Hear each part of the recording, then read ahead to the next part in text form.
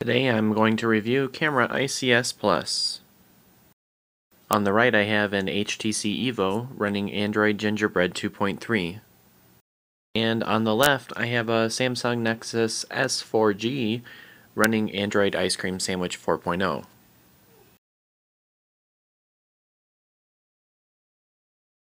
The Evo is running Camera ICS Plus, and the Nexus S is running the original camera app from Ice Cream Sandwich.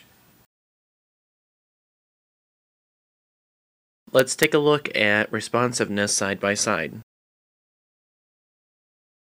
Rotating the screen, the icons change at uh, pretty much the same time. Here's a screencast of the app running on the Evo.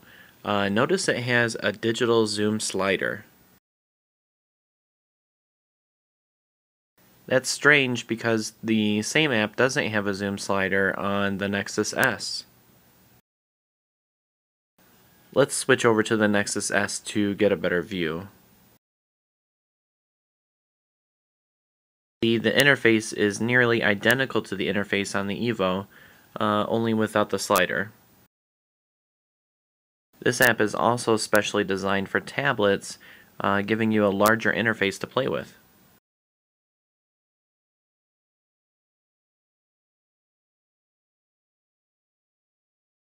My Acer A100 also features a digital zoom slider and a modified settings interface.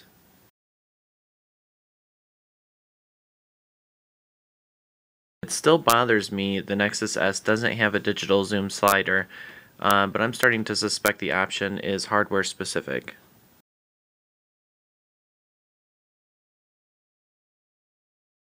Wait for your Honeycomb tablet or Gingerbread phone to get the ice cream sandwich update when you can upgrade your camera app now for 99 cents and take sweet panoramic pictures.